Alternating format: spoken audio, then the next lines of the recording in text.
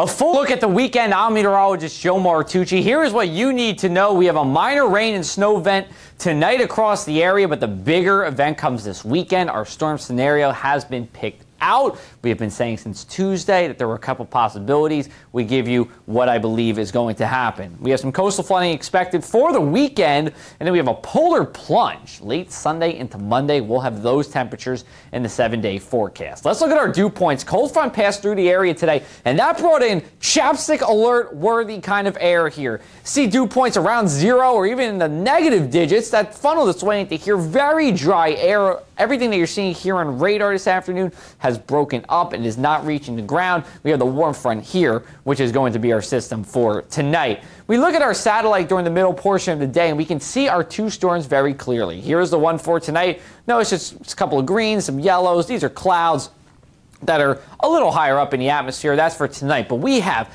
a massive, massive system here, really high clouds. That means it's a lot of precipitation with it.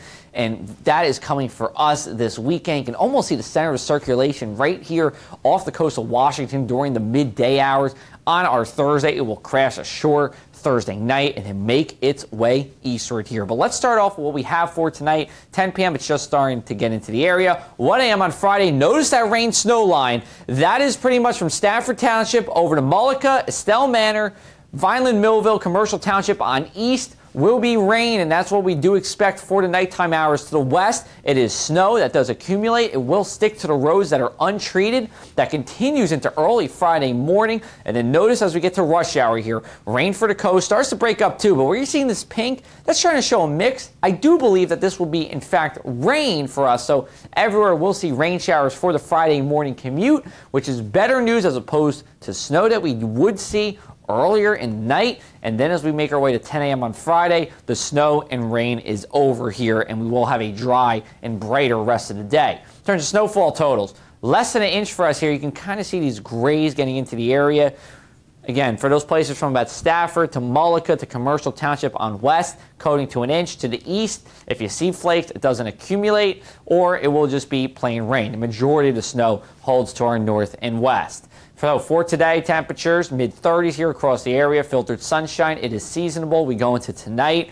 Again, starts between 10 p.m. to 12 a.m. Rain at the shore and along and east of the parkway. Temperatures actually rise overnight so we'll be 29 during the evening and then rise to above freezing as we get towards dawn, coming to an inch well to the inland. And then for Friday here, we see showers during the morning commute and then increasing sunshine as we go throughout the day. Will be a seasonal day with temperatures in the mid 40s. Here were our original storm scenarios for this weekend here. I laid these out for you on Tuesday. Now we will have two of these or one of these depending on where you are, but two of them here in South Jersey during this time.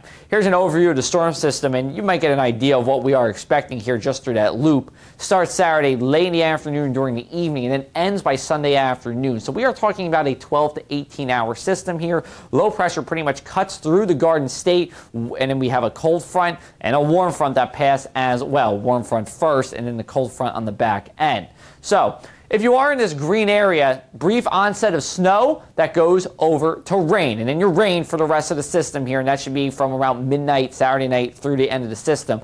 That is for about the same places that we'll see rain during the system on our Thursday night here going into Friday. Snow briefly at the onset to rain to mix as the cold air catches up with the precipitation for those from about Millville, Vineland, Hamilton, and in those places to the west. And then well to the north and west of Philadelphia, more snow as we go over there. New York City looks to also be in that snow briefly to rain and then to mix. These are winds at about 2,500 feet above our heads. I want to show you this because notice where we're at here. We're in the 50s, 50 to 60 knots. That's about 55 to 65 miles an hour. That can mix down to the surface as long as we get an embedded heavier rain band. Hopefully we will not. But if we do, then we're talking about isolated power outages as well as down tree limbs as well. Even inland, we can see gusts around 50 miles an hour. We'll also show you the coastal flooding.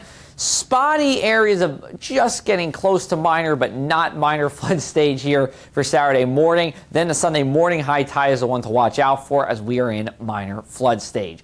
We are also concerned for a flash freeze. We will have crashing temperatures, light winds, and quick timing. In fact, 8 to 10 hours is when we get down to the teens. We should be half that by the time the rain ends or the mix and by the time we get down to 32. So with that, even though the winds will stay elevated, high threat of refreeze can create ice sheets on untreated roadways and sidewalks. So be wary that Sunday afternoon and night. That might actually be the most impactful part of this storm because of all the ice that will form very quickly on Sunday. We'll show you the seven day forecast here. Temperatures crash to 13 degrees on Sunday night, and we only get to 21 on Monday. And there will be some of you that don't even get over 20, especially places like Hamilton and Deerfield, places in the western areas of our region. Nine on Monday night. This is our coldest air since we had that real severe cold outbreak at the beginning of last year. And then we warm up as we go into the end of the week. We'll show you the short seven day. With the warm comes the wet. And as we get towards the middle portion of the week,